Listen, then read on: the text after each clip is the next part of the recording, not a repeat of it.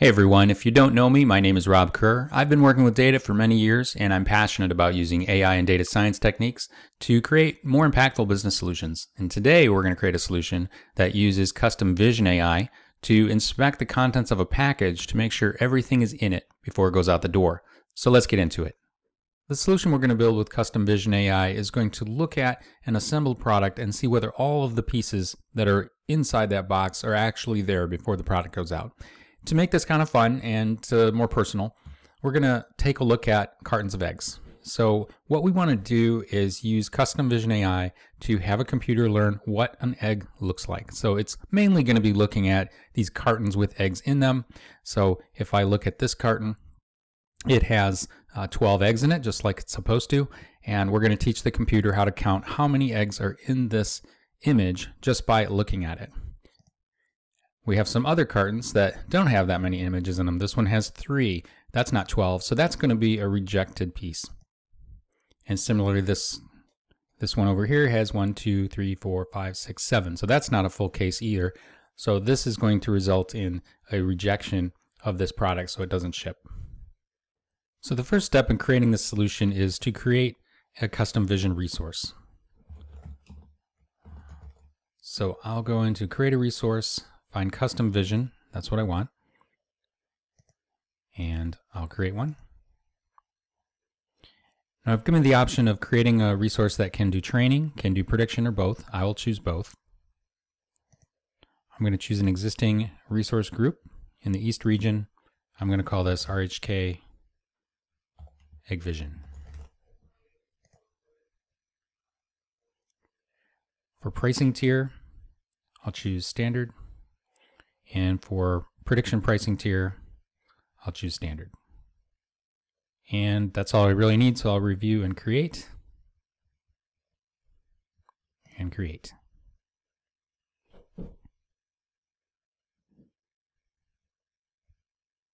Now I can see my deployment has completed. And if I go back to my resource group, I can see that that custom vision is in here. So the next step is to create a new custom vision project. So I'll, I'll head over to customvision.ai, which is the portal to create these projects. And you see I don't have any projects yet. So I'll go ahead and click new project.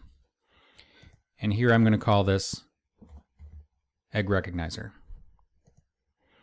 And for the description, custom vision to recognize eggs.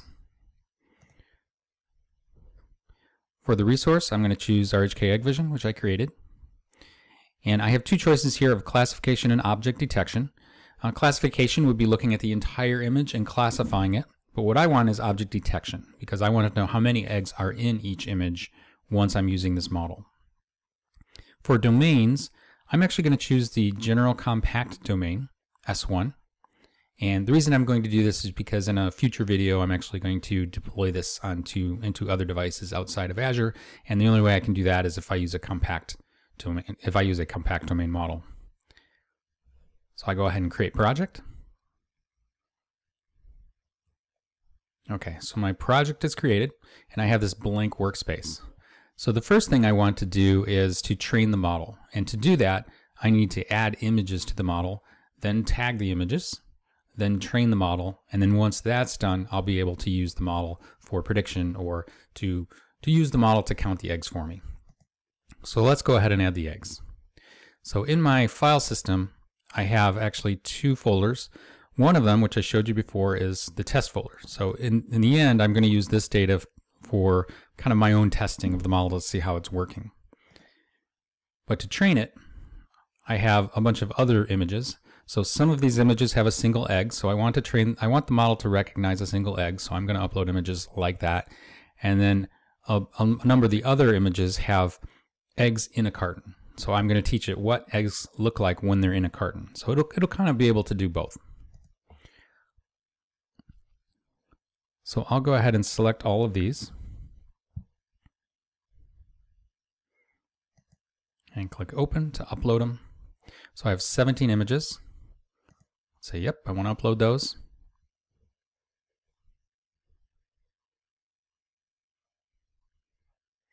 and I have 17 images uploaded successfully. And if I look at the left side now, it says how many images are tagged. It says none. Okay, how many aren't tagged yet? A whole bunch. So this tool, the, the portal, actually gives me the ability to tag these interactively. I'm going to do that. It's not the only way to do it. You can upload images that um, and, and tag them in, in, code, and for a high volume solution that might make sense. But what I'm going to do is just go ahead and tag these. So the uh, the portal is actually recognizing that that's that's a thing. It wants me to know what is that. I'm going to say, well, that's an egg. Okay, and then I'm going to pick each of these other eggs. And what I'm doing is telling Custom Vision that every one of these things is an egg, and they don't all look the same. So the training will help the model learn that an egg can look a little bit different. But the more samples we give it, the smarter it'll get about recognizing eggs in other pictures. So if I go to the next image, and I'm going to call these eggs as well, you get the idea. So I'm going to go ahead and finish this up for the other image, and I will restart the video when I get there so that we can get into the training.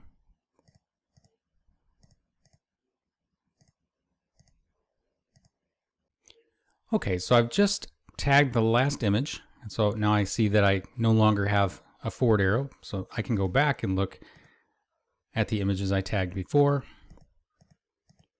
And here are individual eggs or cartons of eggs. But all these eggs are now tagged. So let me close this window. And if I look at the tagged images, I see there's 17 of those untagged. There aren't any left. And in this solution, I'm really just teaching the model to recognize eggs because I only care about eggs. But I could have multiple tags. So I, I, could have many tags of, of different kinds of items and I want to discriminate them and, and count different items. But just to keep the solution simple, we're just doing eggs. So our next step is to go ahead and train the model. So up at the top, we'll hit train and we can choose between quick training, which is what I'm going to do, or advanced training. So if we chose advanced training, we could actually have the model train even more and get even better at recognizing eggs. But in this case, eggs are pretty simple shapes, so I think quick training is just fine. So let's go ahead and stick with the quick training and click the train button. And now what the custom vision is doing is, is it's submitting the training job in, into the compute layer. So it's going to go ahead and go through all of our images and train a model of how to recognize eggs. So I'm going to let this finish and then come back and pick up when it's done. Okay, so our training is complete and I can see it finished at 503. So I think it started at 458. So that's really only about five minutes of training that it, that it took to get this done.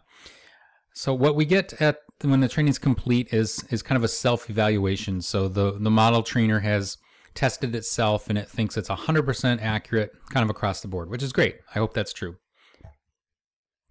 So the next thing and the last thing I'm going to do in this video is just to do a quick test and see how is this model actually working. So what I'm going to do is I, I clicked on this uh, quick test and I can pull a file in from my test collection. So I'm going to go up to test and I will just pull in a full carton of eggs and see what happens. So the quick test has taken the image that I uploaded and ran it through the prediction endpoint to see how many of these objects, how many egg objects were found in that image. And it found 12. So that's great. Uh, this does look 100% accurate. The confidence was 100% on, on this one, 100% on that one, where this one was 99.9. So it's, it's really sure that there are 12 eggs here. And then on the right hand side, I can see a table of probability. Now, in a future video, I'm going to actually implement an application that does this.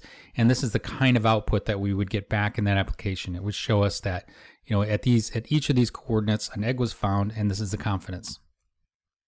So let's try maybe some other images. So we'll try this one that has, I can see in the image there has three eggs in it. So let's see if the model finds three eggs as well. It does. It finds all three of these eggs. And here I'll choose this one, has more eggs. And it identified all of those eggs as well. And let's see if the model can identify individual eggs.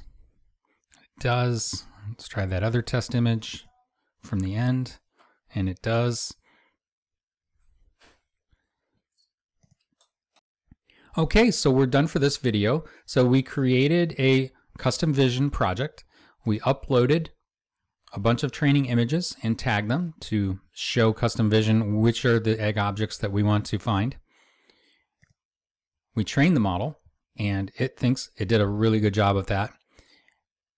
And then in our quick tests, we went through just, just a sanity check to make sure that the kinds of images we're going to submit to the model are actually going to work out well. And we found that yes, indeed, this model actually works really well. So if we wanted to place a camera over an assembly line, it would detect how many eggs were in each carton and be able to tell which ones are accurately packed and which ones aren't. So in a future video, I'll take this model and actually do some more things with it, but I think you get the idea of how to build these things, and we'll leave it there for today.